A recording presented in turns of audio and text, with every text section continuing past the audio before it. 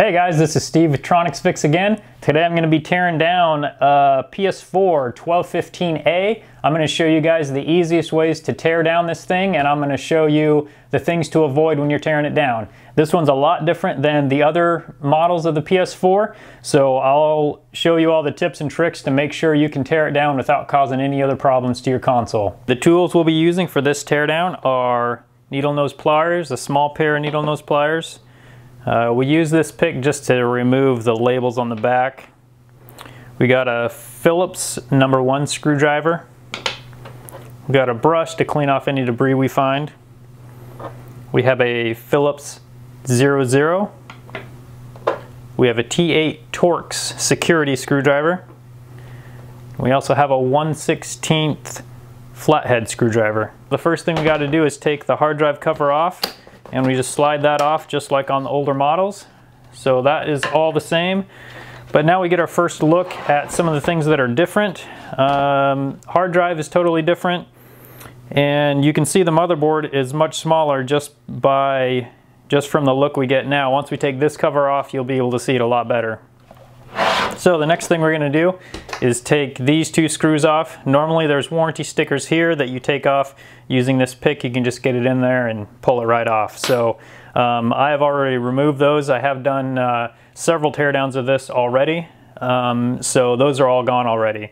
But what is missing is there's not a screw there and there's not a screw there uh, like on the previous models. So that makes it a little bit quicker to get into. Um, I'm going to be using electric screwdrivers again on this just to make sure that we can get this done quickly. So we're going to start by taking these two off. Put it in my screw holder right there. Okay, now that those are off, we're going to take these two T8 screws out. They're the T8 Torx security screws. Now to remove this cover, you do the same as with the old models. You pull up right there near the power button. You have to be careful not to pull on the power button this time because that is one of the changes they made. It's not attached to this cover. So we're gonna pull up here, pull up here, and then pull back on it and that comes right out. So now you get the view of the inside of this. It is obviously much different than the old styles. Uh, the old models, the motherboard is about this big. Looks like maybe they'll be coming along with a slim model before too long with the size of this motherboard. And um, so there's different, different sizes of screws. These are a T8. These black screws right here, uh, you can do use the Phillips number one. There's also another kind of screw right here and here, also Phillips number one. And there's three uh, screws back here that are different as well, and those are those can also be removed with Phillips number one. So the bottom case is a little bit harder to remove on this one. We're to start about right here. Get our opening tool in there.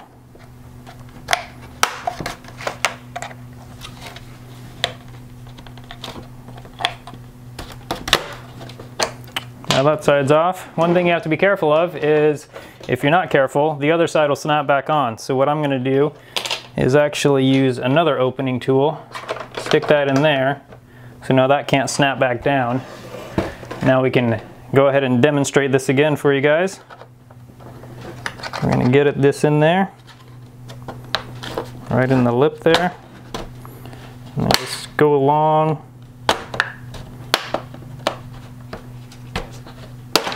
And there we go.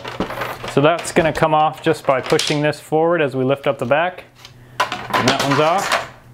Careful not to knock your screwdriver off the edge of your bench there.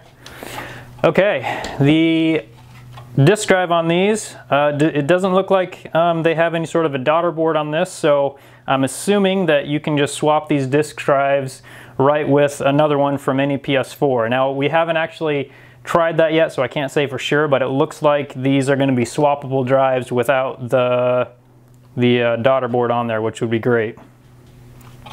So the next thing we're gonna do is go ahead and take out the power supply. So we've got a T8 here, a T8 here, a T8 in the corner here, and then the two um, Phillips, pretty much the same as the old, old style. So let's get these taken out. That one's loose. And that one's loose, so now this whole metal piece is gonna come up. Looks like I gotta loosen that one just a little more. Okay, so that'll come up and we'll set that aside. Now for the T8s.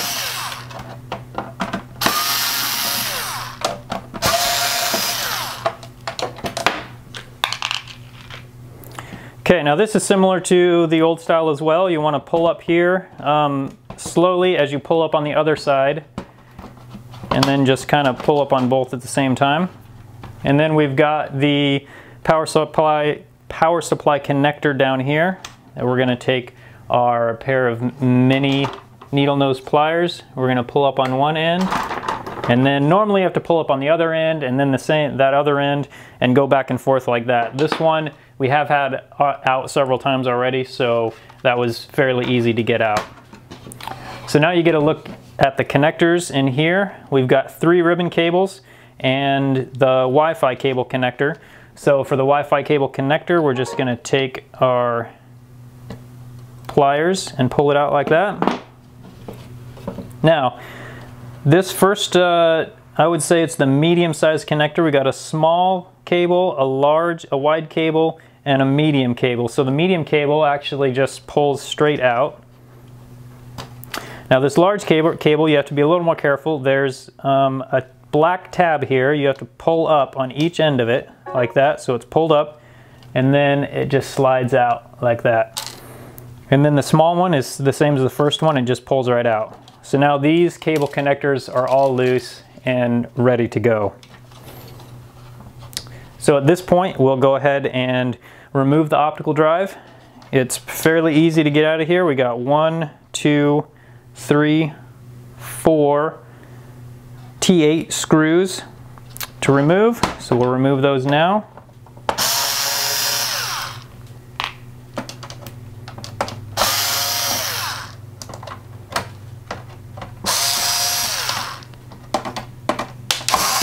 Oh, go ahead and drop one of our screws here.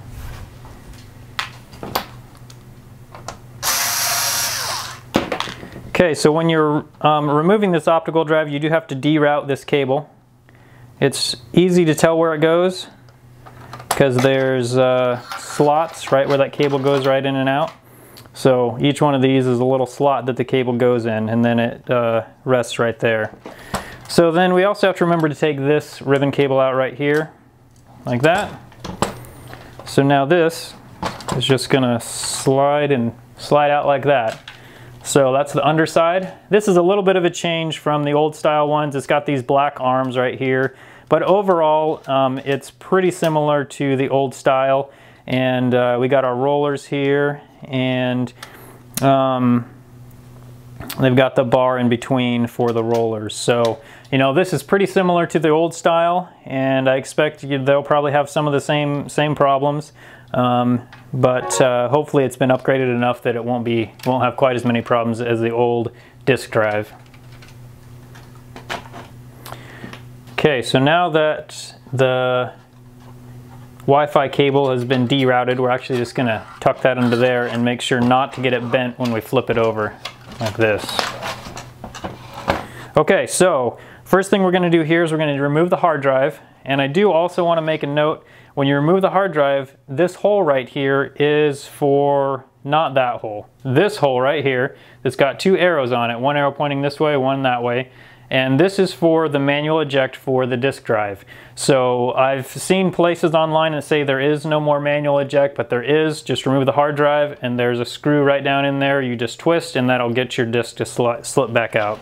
So we're going to take our hard drive out now.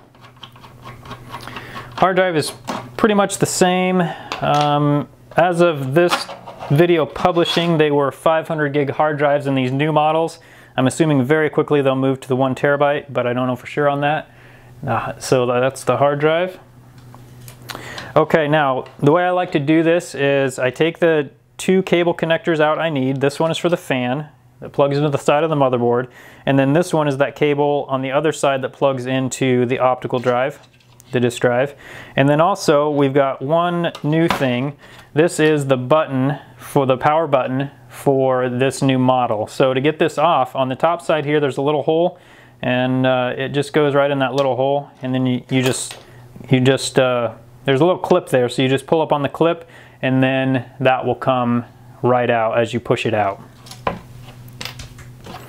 Okay, so the next thing I like to do is I'm going to remove this. Now, keep in mind there's one, two, three, there's four different kinds of screws in this. So if you've never taken one of these apart, you're gonna have to either take a picture, you can go on iFixit. We do have a guide on iFixit that show the location of these screws. So uh, you may wanna do that um, when you go to reassemble this to make sure and get all the screws in the same places. Now, keep in mind the black screws are going to be machine screws which have a different thread that will go that thread into the metal. So if you get stuck, look what's thread what it's threading into. The large T8 security screws just screw into plastic. So if you look in there, you can see that it's just screwing into plastic. You know it's not going to be these block ones.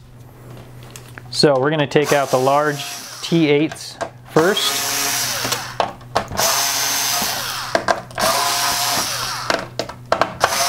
And once we get this out, you'll get a good view of the motherboard and how small it is compared to the old style.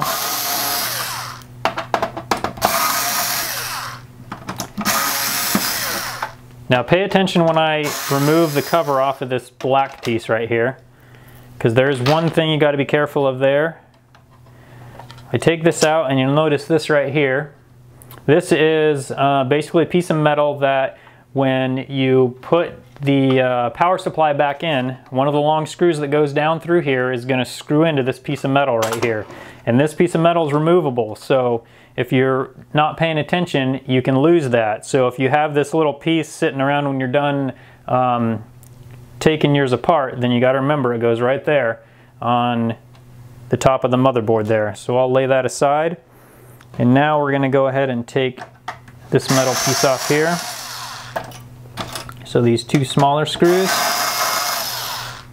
and this one black screw.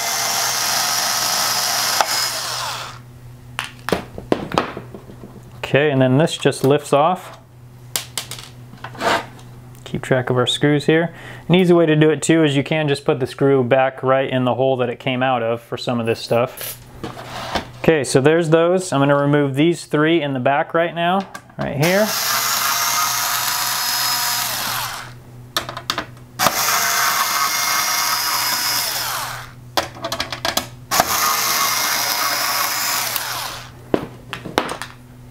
Okay, then we've got just the rest of these black screws to pull off. So we're gonna remove those next.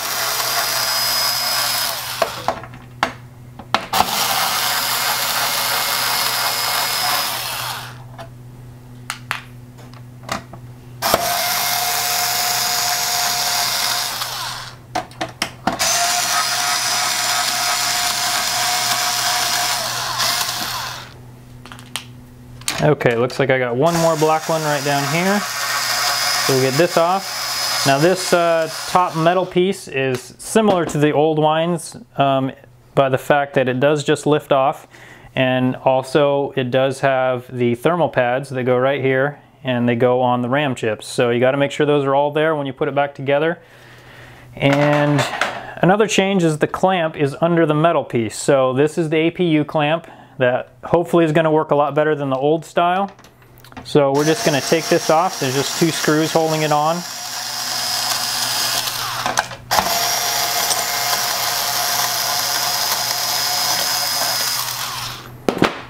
So there's two pieces of this clamp. It's got a top piece and then it's got this bottom spacer piece. So remember that when you put it together. Now this motherboard is similar to the old style in this way, and that is that it does just pull up like this, and then you just pull back. So you gotta you gotta rotate it up from the back over here. So once I turn it over, you can see um, the thermal paste. Now normally you're gonna wanna clean all that thermal paste off and put new thermal paste on, but since we've had this apart several times before, we already have the new thermal paste on there, so we don't need to worry about that. So this is the motherboard. You can see it's much smaller than the old style. And like I said, I wouldn't be too surprised if Sony did come out with a slim model here before too long. So we'll put that aside. And the last thing is if you're going to remove the fan, you remove this screw, this screw, and this screw, just like on the old style. And then this pulls up, and then there's one screw here, and I think that's the only one for this one on the fan. Um, and then the fan just pulls up just like the old style, and you put the new one in and put it all back together. So that is the new model of PS4, the 1215, and that's the teardown for it. If you guys have any questions at all, then please let us know and we'll help you out however we can. Thanks.